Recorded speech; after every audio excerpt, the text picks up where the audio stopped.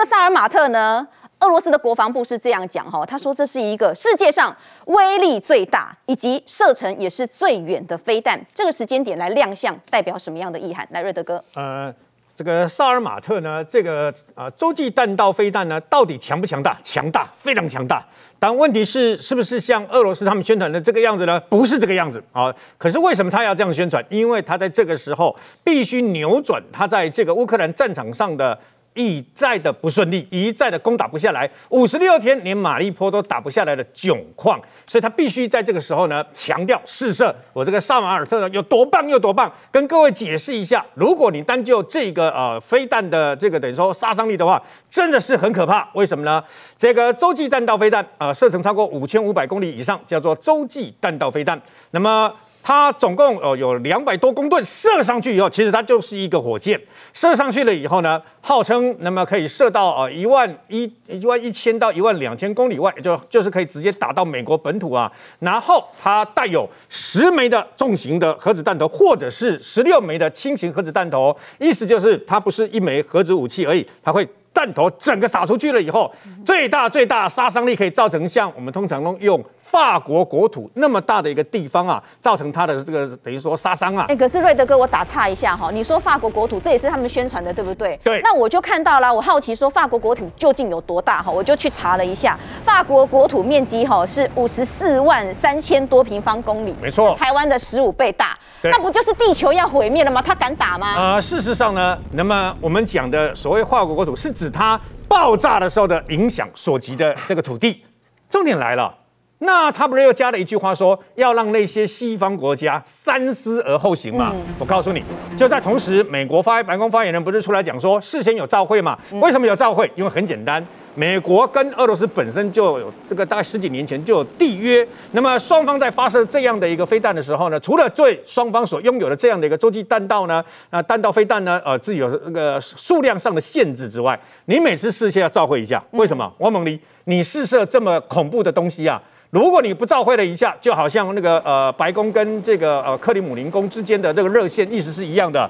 我怎么知道你要干嘛？你知道吗？万一你射到我这边来怎么办？引起误会，两边对对对打会怎么办嘛？所以呢，事先有召会哦，这次是一个呃这个相关的试射行动，所以总共飞了快五千多公里，快六千公里嘛。那么他俄罗斯的说法是说啊，他平安降落等等啦，就是试射 OK 啦。那他他为什么要恫吓你说像国土像法国那么大？因为我十几枚的核子弹头如果分裂出来全部出去的话，我杀伤力就这么大哦，你们要小心一点。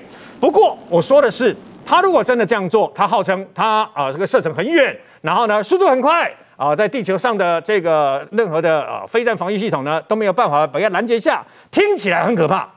可是问题就在这个地方，这么大的一个飞弹，两百多公吨射出来了以后，只要他带的不是核子弹头，那我告诉你，他就跟之前的那个极音速飞弹。一样，它不是发射了跟乌克兰发射了两枚极音速飞弹吗？也是号称，那么这些所谓的飞弹防御系统，因为你的飞弹防御系统，你的你没有像极音速飞弹一样速度这么快嘛，所以呢你也拦它不下来啊。但是它的飞弹那个它的相关的这个极音速飞弹打哪里？打乌克兰的一个，我记得还打的说是弹药库嘛，一个说是燃料库嘛，有什么用？跟一般飞弹打没有什么两样，就是破坏力大一点而已。那为什么这样说啊？各位，因为很简单。洲际弹道飞弹有一个昵称叫“世界末日飞弹”。嗯，当你用洲际弹道飞弹上面用核弹，然后呢，你不是试射哦，以前还可以试射，对不对？还可以在那个哪里啊，太平洋啊，拿岛国试射啊。现在你如果真的打到，比如说你真的飞到美国的话，我我告诉各位，他如果真的要打美国的白宫。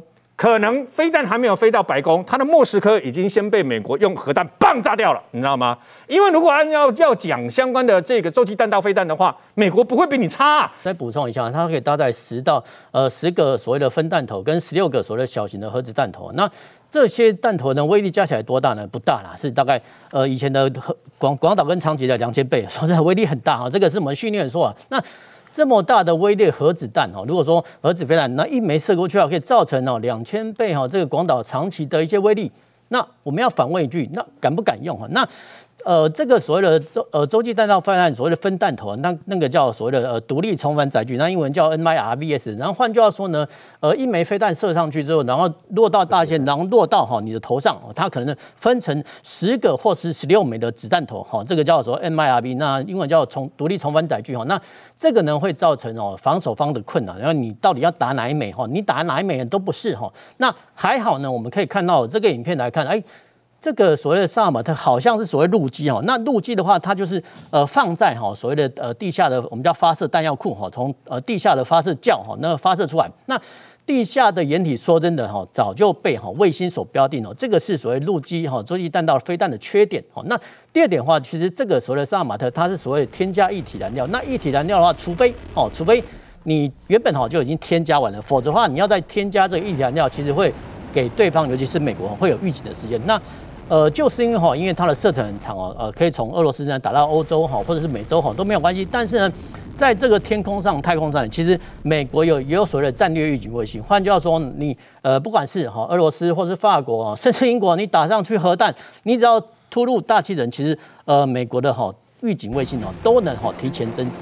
这个是呃洲际弹道的。呃，缺点哦，尤其是所谓陆军弹道飞弹，所以其实呃，过往哈在维持所谓的核子核主三角的话，其实他们哈，因为美苏两国哈都会把哈这个核子中心放在哈所谓的核子潜舰上，因为核子潜舰呢，你出去之后，说真的，连美国或当时我都不知道哈，它会跑去哪里哈，这个会增加了核阻力。那当然了，你说陆基弹道飞弹的话，其实呃，美国也有，美国呃他们。原本是呃用所谓义勇兵三型，那现阶段呢，呃他们哈改为测试叫 LGM 三十五哈，这个所谓哨兵飞弹哦，这个也是陆基型的弹道飞弹，但是呃所谓的陆基型弹道飞弹都是算是补充哦，美国呢还是哈呃侧重它的核子潜舰，那相对来讲哈，其实俄罗斯的核子潜舰虽然说北风之神等等等哈这些核子潜舰，但是它的数量哈来呃没有美国来多，所以其实它的核子核主威力说真的哈。反而都没有美国来多，而且不要忘记了，美国他们还在发展哦各式各样的飞弹拦阻措施，所以其实就不管是攻或防来讲哈，其实美国呢是比较占优势的。嗯，好，来玉韶老师要做补充。俄国在这个时候试射这个萨尔马特，我觉得有几个很重要的意义了。我们先这样来推论来类比好了，为什么呢？北韩过去啊到试射相关的飞弹，它的目的到底是为了什么？它是为了达成战略贺阻跟心理恫吓的效果嘛？我们说金小胖每隔一段时间呢，这阵子基本上北韩也传出来试射呢相关导弹的消息嘛。但另外很重要的地方是呢，我补充是呢，在之前新台湾加油节目中我就已经讲过了，如果俄国基本上也要构成同样的威胁，刚才主持人刚才贵亚讲非常好啊，他为什么大内宣要说，或是大外宣说，哎，整个法国，整个法国五十八万平方公里，大概跟哪个国家一样大？各位猜看。跟乌克兰差不多大了，乌克兰是六十万平方公里嘛，所以呢，这具有这个的心理后贺主，还有呢这个宣传的效果。这跟台湾有什么关系呢？跟印太战有什么关系呢？中共的零九四跟零九五哦最喜欢穿透了巴士海峡，它上面呢所部署的巨浪二跟巨浪三也是战略导弹。因为呢，穿透巴士海峡突破第一岛链的时候，它的这个战略导弹呢就可以射到美国本土，所以呢，一样对呢美国构成重大的心理贺阻效果。结论很简单，为什么这个时候像瑞德哥所说的，平常不试射，虽然美国说呢是例行性的试射，当然有它实际上的这个巧合，什么意思呢？战场虽然失利。但是呢，我成事不足，我败事有余。什么地方呢？我就是拥有呢这样的战略导弹，对全世界，特别对乌克兰。我一开始所讲的，为什么故意要讲法国？我不认为它绝对可以毁灭掉这么大的面积了。其实呢，项庄舞剑，意在沛公。告诉大家，我这个核子武器的毁灭程度呢，相当于乌克兰这么大。泽伦斯基如果再抵抗下去的话，你要不要考虑考虑一下？北约跟美国的盟国呢，在驰援呢乌克兰的时候，你要不要考虑一下这个毁灭性所带来的效果了？